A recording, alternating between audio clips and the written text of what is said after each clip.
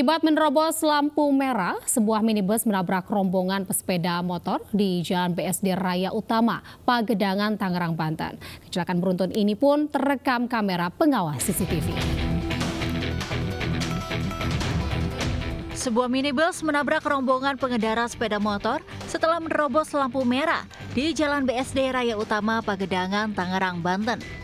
Peristiwa ini terekam kamera pengawas lalu lintas.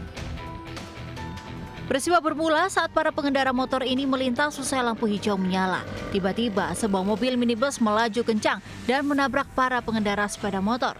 Sejumlah pengendara motor bahkan terpental ke jalan BSD Raya Utama Pagedangan Tangerang, Banten. Meski tidak menimbulkan korban jiwa, empat unit sepeda motor rusak parah.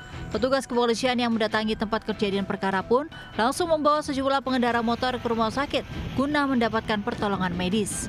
Akibat insiden ini sempat terjadi kemacetan panjang. Uh, mobil Honda Chevrolet berwarna putih melaju dengan menerobos lampu merah yang mana korbannya dari arah uh, arah yang berlawanan sehingga Sementara itu, kasus kecelakaan beruntun ini pun ditangani unit Laka Lantas Polres Tangerang Selatan.